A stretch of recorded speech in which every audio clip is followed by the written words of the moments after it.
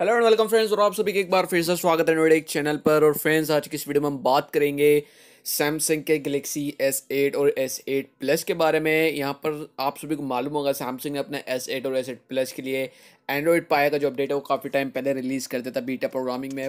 और जो stable Android पाए का अपडेट था वो बताया जा रहा था कि 15 फरवरी 2019 को सैमसंग रिलीज़ कर देगा अकॉर्डिंग टू सैमसंग टर्की यानी कि सैमसंग टर्की ने चीज़ कंफर्म कर दी कि पंद्रह पंद्रह फरवरी 2019 को सैमसंग ऑफिशियली जो एंड्रॉयड पाए है सैमसंग वन यू आई है, वो रिलीज़ कर देगा एस एट और एस एट प्लस के लिए। बट ऐसा नहीं हुआ।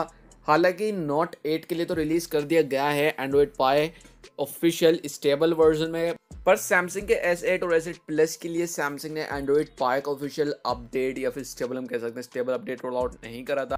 जबकि जर्मनी में सैमसंग ने एंड्रॉइड पाए का स्टेबल अपडेट रोल आउट कर दिया था। बट नाउ सैमसंग ने स्टेबल एंड्रॉइड पाए इंडिया में रोल आउट करना स्टार्ट कर दिया अपने S8 और S8 प्लस के लिए।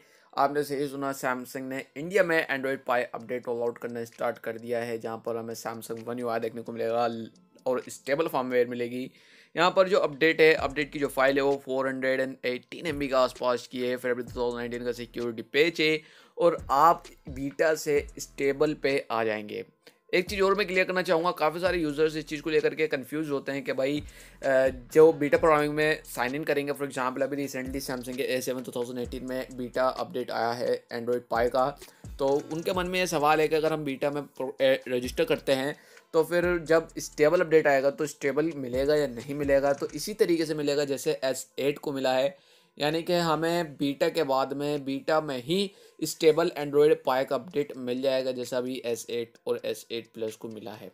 सो so, इसमें कंफ्यूज होने वाली चीज़ नहीं है आपको एफ़ ओ टी अपडेट मिलेगा। स्टेबल का बट उसकी जो अपडेट फ़ाइल होगी वो कम की होगी as compare to non beta users और यहाँ पर अभी तक नॉन बीटा यूज़र्स को मिला है या नहीं मिला है एंड्रॉयड पाए का अपडेट उसकी कंफर्म न्यूज़ नहीं है बट अगर आती है तो मैं आपको अपने सोशल मीडिया पर बता दूँ या फिर एफ़ ओ टी अपडेट की वीडियो में जो है उसके बारे में इन्फॉर्मेशन दे दूँगा। सो फ्रेंड्स हाल फ़िलहाल सबसे अच्छी न्यूज़ ये है कि सैमसंग के एसेट और एसेट प्लस के यूज़र्स को एंड्रॉइड पाए का स्टेबल अपडेट मिल चुका है। अगर आप नन बीडे यूज़र हैं और आपको भी मिला है तो नीचे कमेंट करके ज़रूर बताना मुझे कि आपको भी एंड्रॉइड पाए का स्टेबल एंड्रॉइड पाए का अपडेट मिल चुका है या नहीं मिल चुका है आपके एस एट और एस एट प्लस में। सो so, यही था आज के इस वीडियो में। आई होप आपको वीडियो पसंद आएगी वीडियो अच्छी लगती है लाइक कीजिएगा शेयर कीजिएगा। है तो सब्सक्राइब कीजिएगा। मैं मिलता हूँ आपसे किसी ऐसे अगले इंटरेस्टिंग वीडियो में। My next video signing out